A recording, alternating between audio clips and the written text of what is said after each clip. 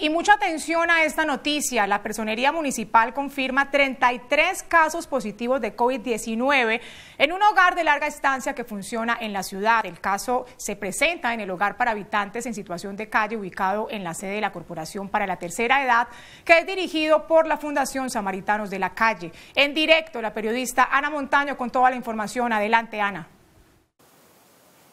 Muy buenas tardes, pues este es el segundo hogar de adultos mayores que presenta casos de COVID-19. Recordemos que hace algunas semanas se reportó el primer caso en la Fundación Casa de Dios en el barrio Petecuy, donde alrededor de dos adultos mayores dieron positivo para COVID-19. En esta ocasión son 33 los que dan positivo en este hogar de larga estancia. Para ampliar esa información me acompaña el personero de Cali.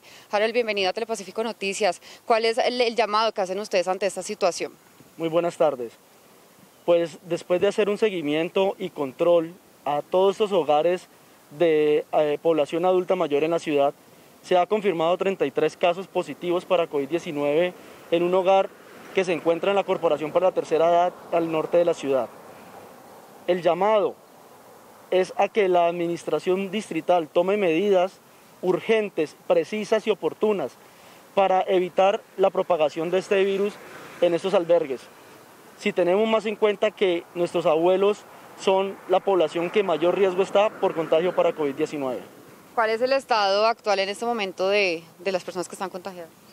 Eh, las personas adultas mayores se encuentran en estado estable, se les está haciendo todo el protocolo de aislamiento y se siguen tomando pruebas al interior del establecimiento por parte de la S Norte.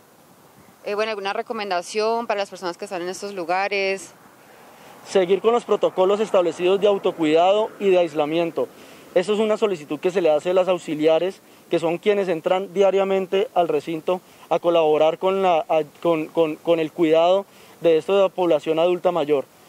Es importante seguir estrictamente y no bajar la guardia en los protocolos establecidos para auto, autocuidado, aislamiento. Personero, muchísimas gracias. Muchas gracias por la invitación. Bueno, en Cali hay 140 hogares para adultos mayores y son monitoreados constantemente precisamente para evitar que se propague el virus y por supuesto para velar por la población más vulnerable que en este momento son los adultos mayores. Esta es la información para Telepacífico Noticias, Ana Montaña.